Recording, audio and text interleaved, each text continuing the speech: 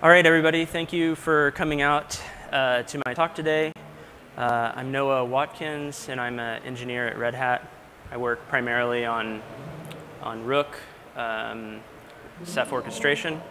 Um, but today I'm going to talk about something completely different. I'm going to talk about extending Ceph, uh, extending uh, functionality for your application. So this is a picture of uh, the Ceph architecture. I'm going to use this picture throughout uh, the talk, so it's worth two seconds describing it. There's clients accessing the cluster below through a variety of APIs like Rados or RBD. Uh, this talk is primarily going to focus on access uh, to the system through the lower level Rados API. Um, but before we get started with that, I just want to spend one second talking about RBD. So have you ever wondered about how RBD LS works? Um, for those of you who don't know, RBD is the, the block device uh, feature in Ceph.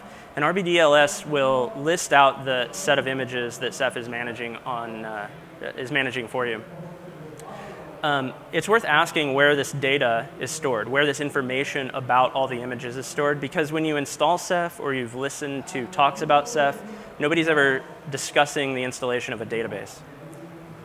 Um, there's a bunch of examples of metadata in the system uh, that are like this. So there's snapshots and clones in RBD or all the listings of the objects in RGW uh, buckets. Um, and a reasonable answer to this is that Ceph stores that data uh, in objects. After all, Ceph's an object store. But if you've ever tried to build uh, any sort of data management for structured data on top of objects that store binary data, you will have realized that that is a gigantic headache. But it turns out that Ceph does store all of this data, all the structured data in objects. Um, but it takes an approach by building application-specific interfaces on top of these objects. So in addition to having your standard binary CRUD type interfaces to these objects, um, each object can store data specifically for RGW or specific for RBD, and those interfaces are designed specifically for those applications. And this talk is going to describe to you how you can go about taking advantage um, of features in Ceph to build your own application-specific interfaces. So the rest of this talk uh, gonna, is going to be like this. I'm going to tell you about a very simple Rados client application. This is going to mostly be a driver for the rest of the, the talk. I'm going to extend Ceph to provide functionality to this example.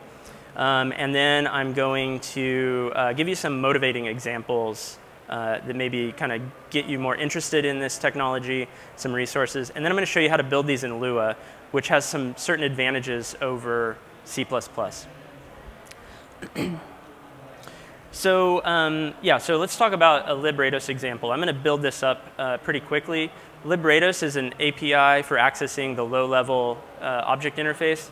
Um, for those of you who don't, don't use librados um, or know much about it, it's different than the objects that we talk about when we talk about RGD, RGW objects.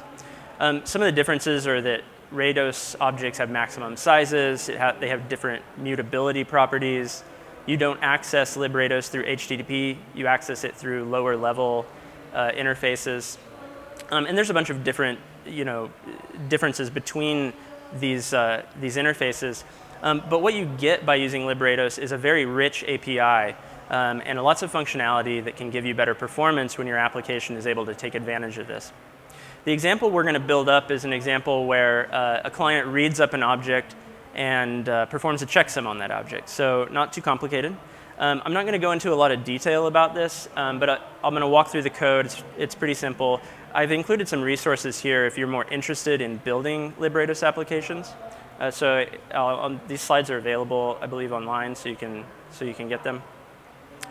So when we talk about Librados applications, what we're talking about are clients accessing the OSDs and the objects managed by those OSDs directly.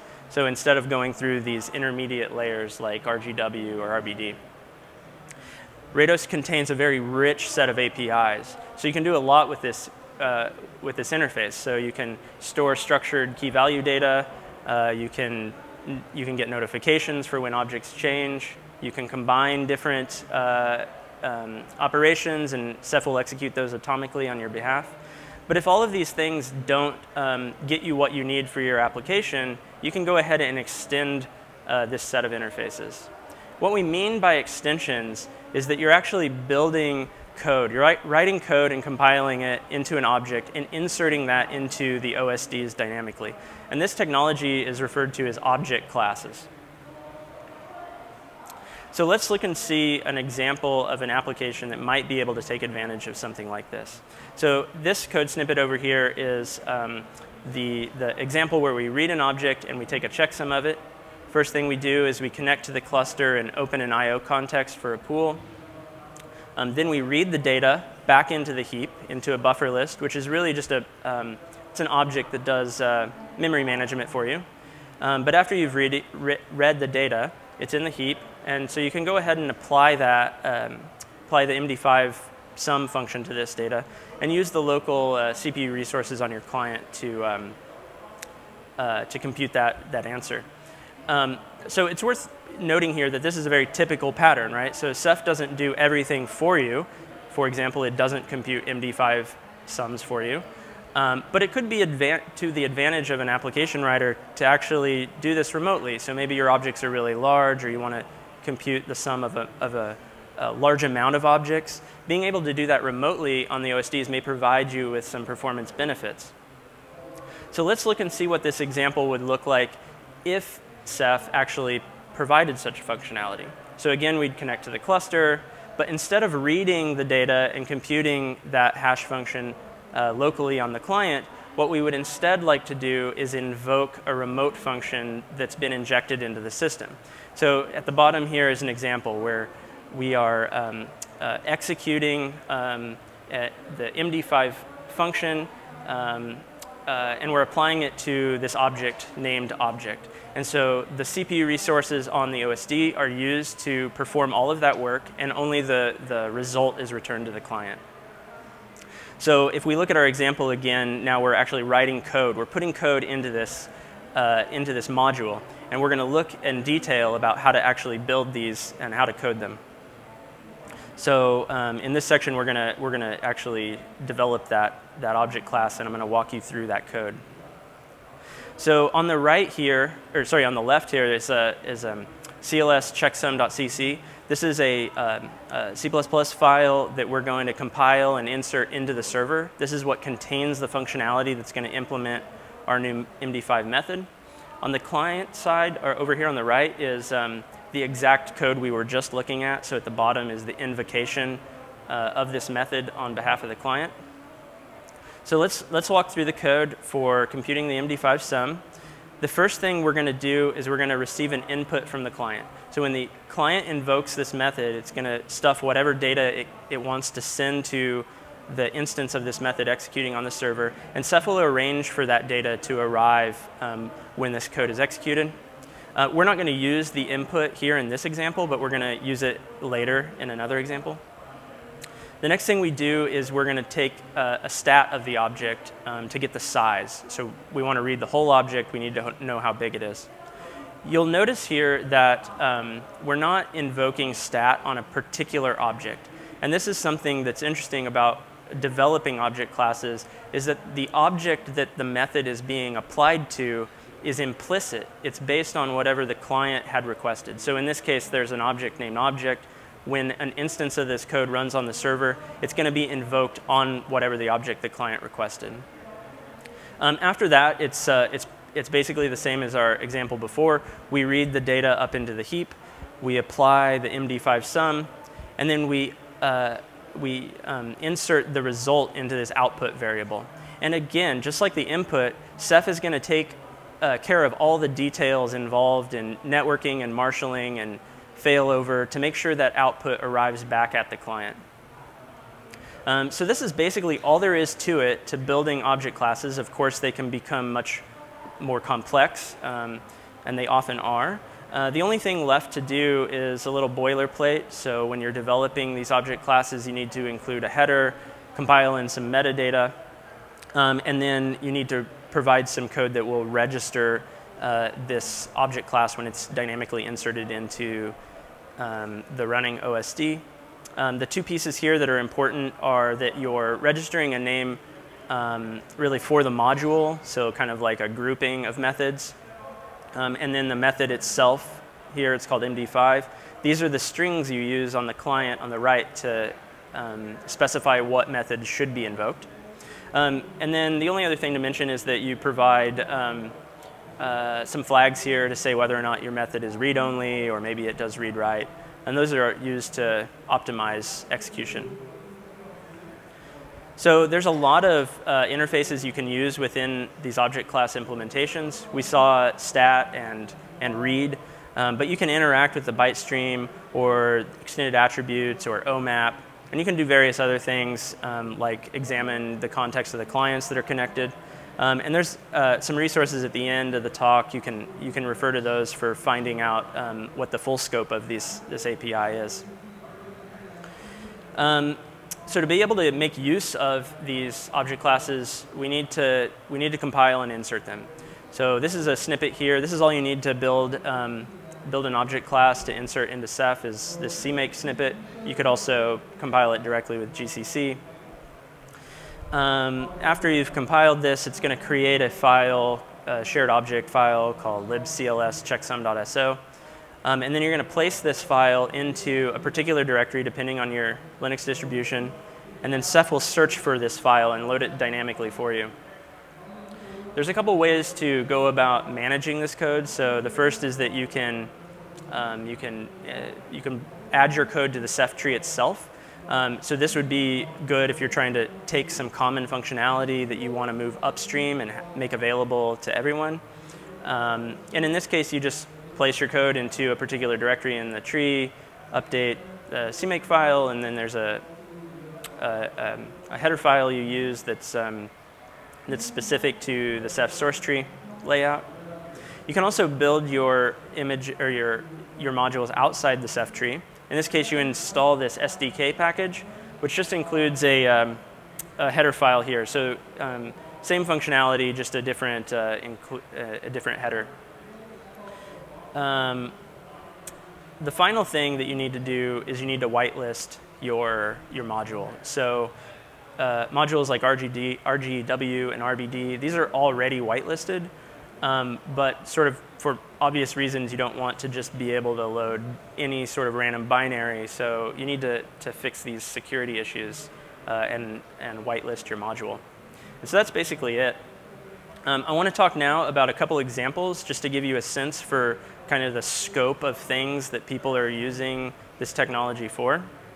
So I want to talk briefly about a project called Skyhook. This comes out of UC Santa Cruz. Uh, this is an Elastic database engine that's being built on top of Ceph, um, and it's currently being uh, developed by Jeff LeFevre. Um, the basic idea behind Skyhook is that relational tables are partitioned um, along, uh, well, well, it uses row partitioning. Um, and then these partitions are added into objects within a Ceph cluster.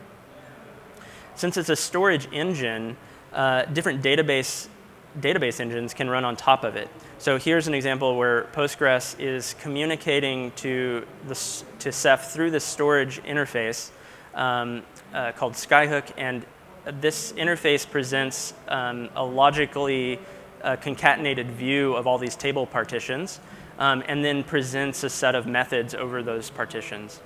Um, and the set of methods that are implemented by object classes in Skyhook um, are things that are amenable to using the resources in the system. So predicate evaluation. So for example, like a where clause on your SQL statement can be pushed down into the system. Uh, you can do things like projection, uh, which is you know, returning only the set of columns that you care about. Um, and then there's a bunch of other ways that Skyhook accelerates queries using those uh, storage system resources. So I can show you a couple examples of the performance that you get if you're able to make use of this type of uh, processing. This is execution time for a query that's selecting 10% of a billion rows. Um, and then we're, we're um, increasing the number of, of OSDs. The blue bar is uh, execution time when we move the whole data set back to the client. So this would be in like a baseline where you don't have uh, an intelligent interface. And then the red is where we're doing the filtering inside of Ceph. Um, and I don't want to go over all these details. Just here at the end, we, we observe a 6x performance increase um, by making use of uh, those, those remote resources and not moving all of that data back over the network. Um, the next example of a performance improvement is a point query. So this is, um, this is like a primary key query where you're looking for one row, in this case, one row in a billion rows. Um, the blue and the red uh, are the same uh, style of execution that we saw in the previous one where we're scanning the whole data set. Um, but the thing to note here um, is that uh, we also build indexes over all the rows that are stored in these partitions. Um, and we can query these, uh, these indexes in parallel. So we do one lookup per partition, uh, and we can find that row that we care about, and we can do it in about 100x faster than moving all that data back to the client. So Jeff is using uh, this result really is a basis for a lot of the cool stuff he's doing with uh, database engine acceleration uh, on top of Ceph. So I encourage you to look at that in more detail if, if uh, it's interesting to you. Um, the, the second example, sort of, of more of a resource for you if you're interested in developing object classes, is Ceph itself. So this is a directory listing of the Ceph source tree. It's my favorite directory in Ceph. Uh, it contains all the object classes.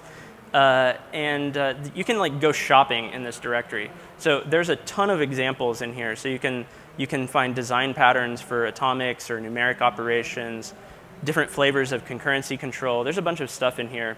In fact, there's uh, like there's over 200 methods here that you can go peruse and look for for interesting things to to help you uh, in your your development process.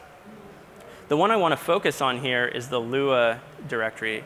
So this is an object class that we've implemented uh, that allows you to build all of the functionality we've discussed so far, but do that in Lua in, in, instead of um, instead of C++. So let's look at this diagram again.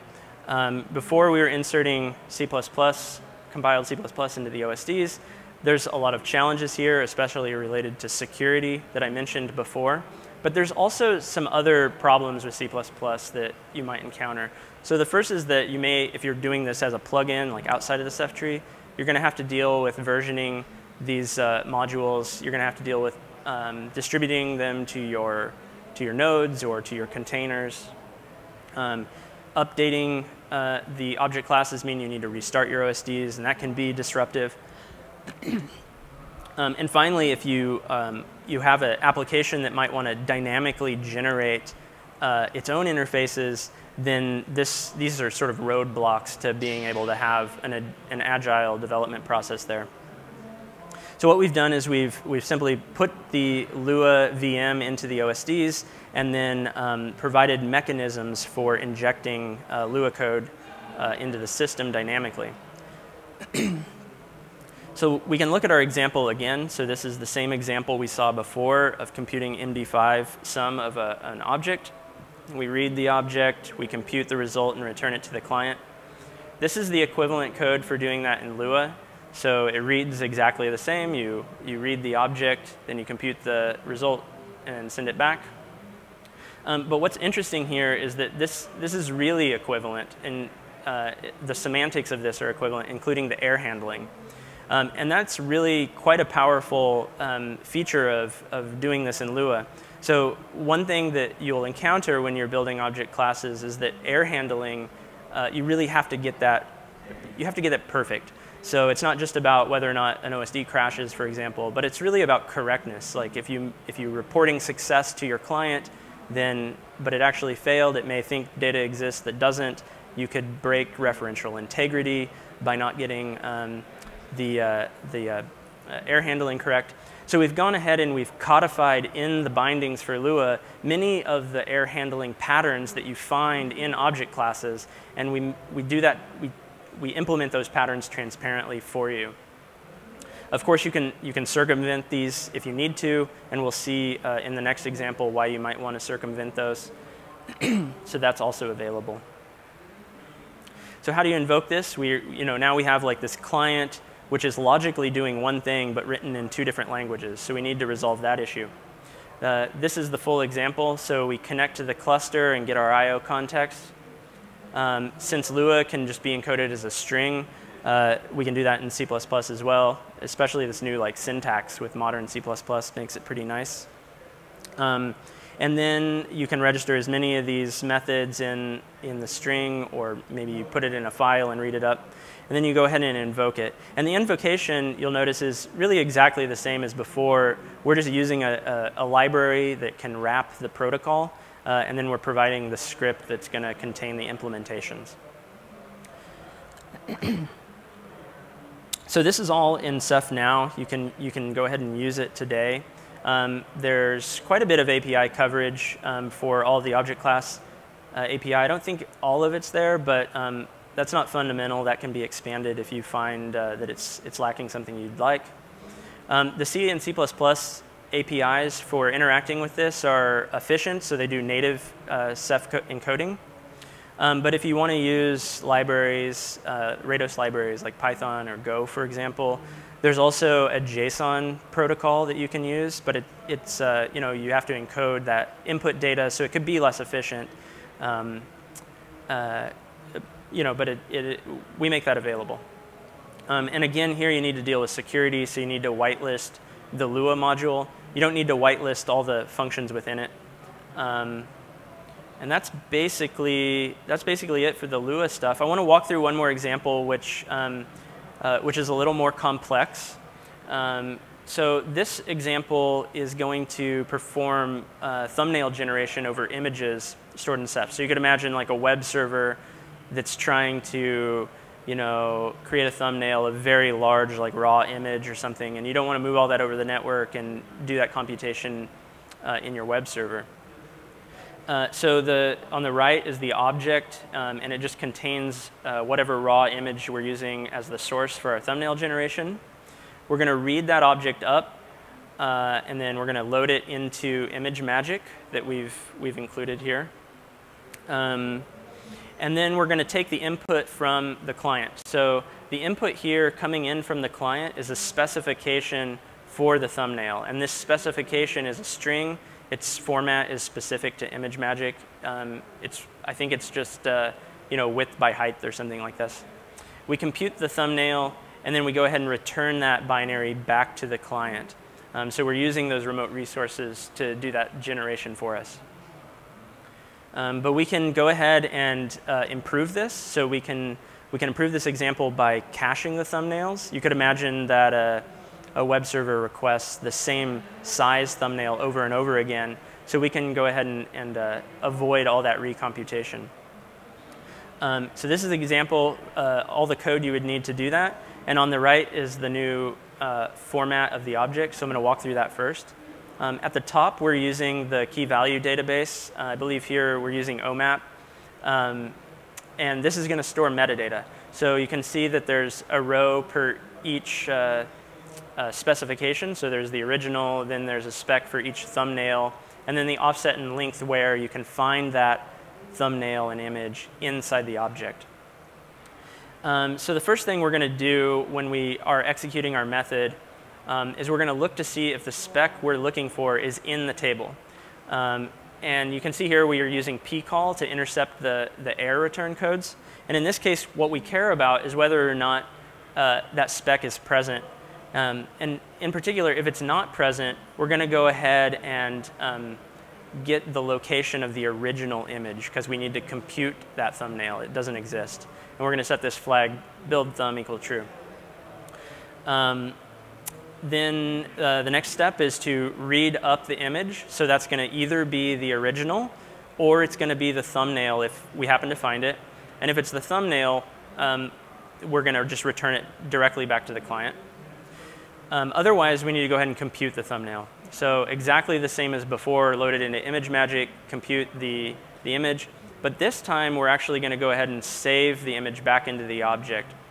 Um, and this example illustrates something really powerful about object class development is that Ceph will execute these functions atomically for you.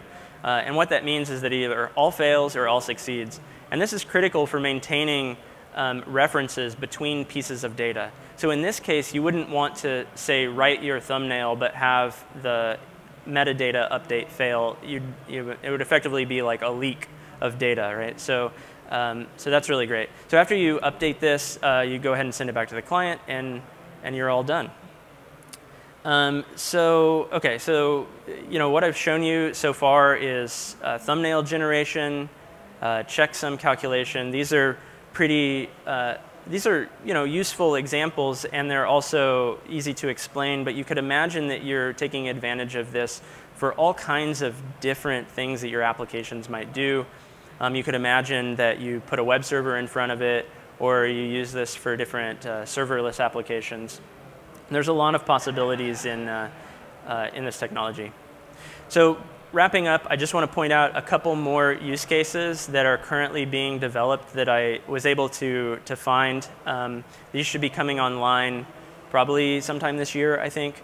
Um, the first is, um, uh, is an object class that's going to implement IO, IO slicing or something like this for multidimensional data in HDF5. So you can go in and you can request um, different subsets of uh, the multidimensional data stored in HDF5 and then do that efficiently.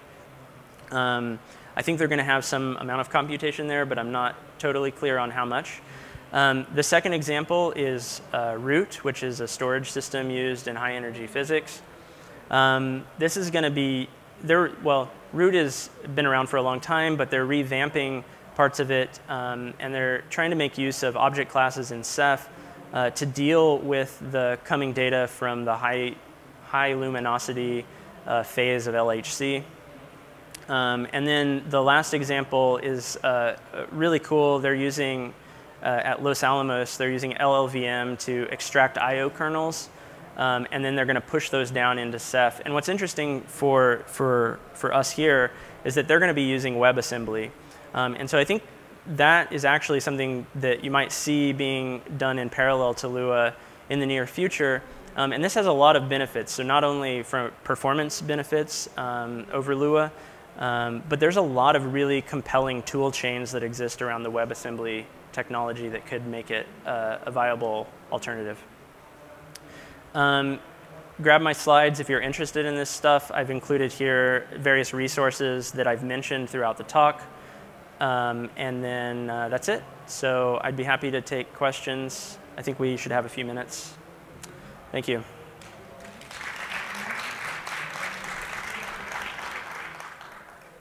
Yeah.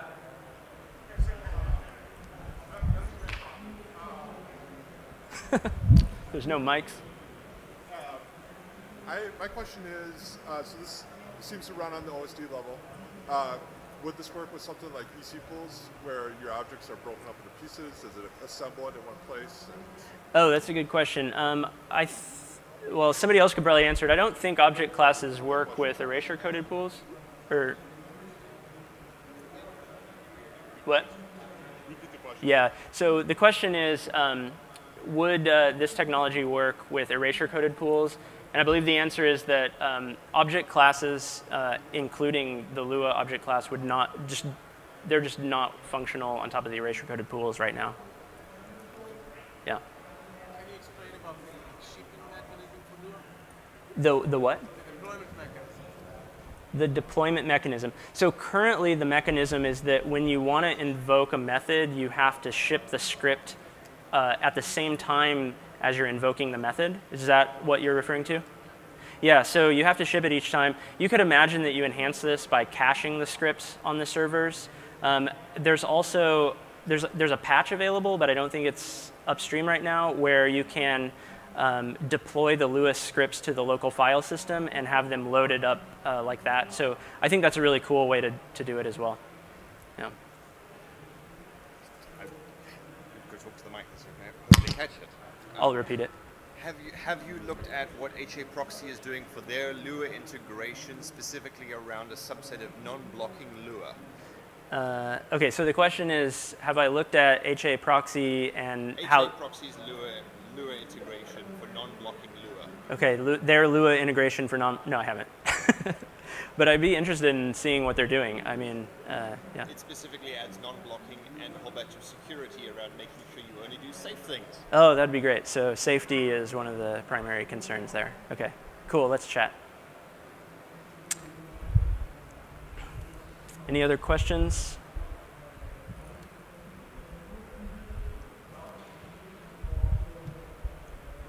All right, I think that's it. Thank you.